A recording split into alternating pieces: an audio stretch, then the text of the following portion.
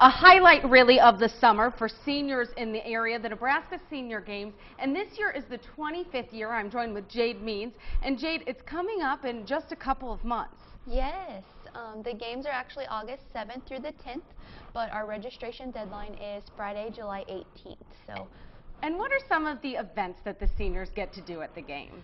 oh, we have over 15 different events, and then just different, you know, singles, doubles, or mixed doubles, or we have track and field, you know, and a whole bunch of running events, field events with that. We have pickleball, badminton, and then we have some, you know, not as competitive type um, programs such as um, our, we have a pitch tournament. Um, people can come and try out Laugh Yoga, which is new this year, as well as like a Tai Chi class. So um, just a mixed variety of you know those more competitive athletic ones, and then some just kind of leisure classes. We're talking about it two months out. Is this something that some seniors are already training for?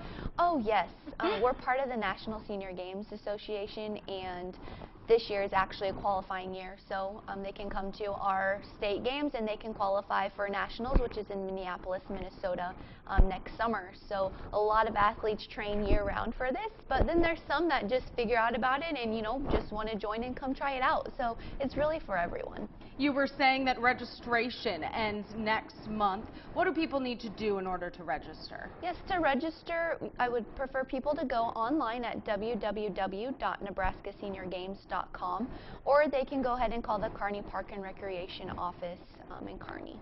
One last plug, the dates of the senior games. Yes, August 7th through the 10th, but the deadline is Friday, July 19th. Excellent. Thank you, Jade. Yep. Stay with us. We've got more News 5 at 1130 coming up next.